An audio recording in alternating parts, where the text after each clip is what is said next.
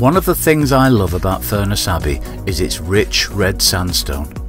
It is growing old very gracefully. Weathered by centuries of wind, frost, rain and sun, it is crumbly and sandy to the touch.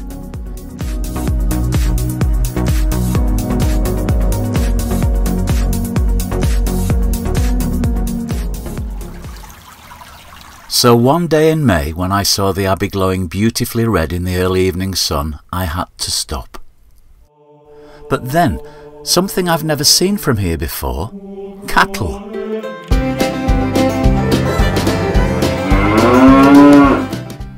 Yes, of course the monks were farmers and kept granges and cattle and sheep. That was one of the reasons they came here. But I'm not usually reminded of this so close to the Abbey precinct.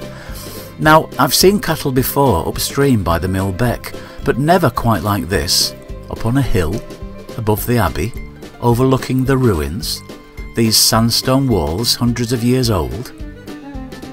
But of course, these cattle are in one of the Abbey quarries, a quarry now so well hidden by trees that we forget it's still there. A quarry which produced the very same warm red sunbathed sandstone I had stopped here today to admire.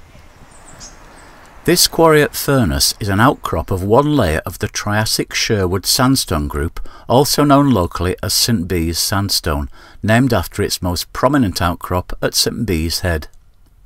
The word Triassic means that it is more than 200 million years old.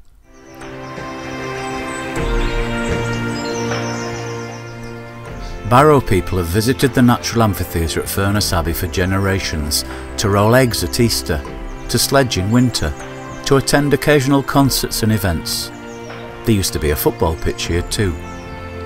But in the trees at the foot of the hill, there lie hidden the remains of another quarry. There are more quarry faces hidden alongside the mill beck in the trees of Abbott's Wood, and some of these are inside the church site itself. Having all these quarries producing good quality stone within, forgive me, a stone's throw of your chosen building site is no accident.